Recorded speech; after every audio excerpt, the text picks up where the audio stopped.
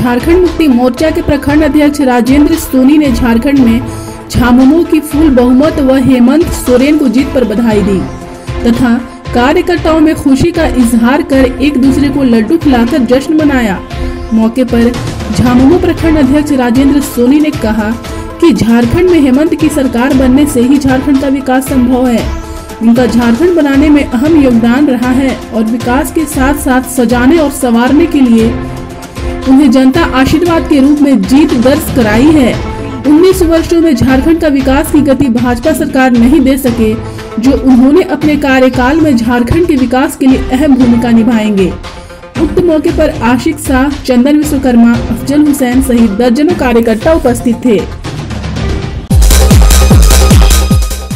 गढ़वा, पलामू और लातेहार जिला की ताज़ा तरीन खबरों के लिए सब्सक्राइब बटन पर क्लिक करें और बेल आइकन को दबाएँ।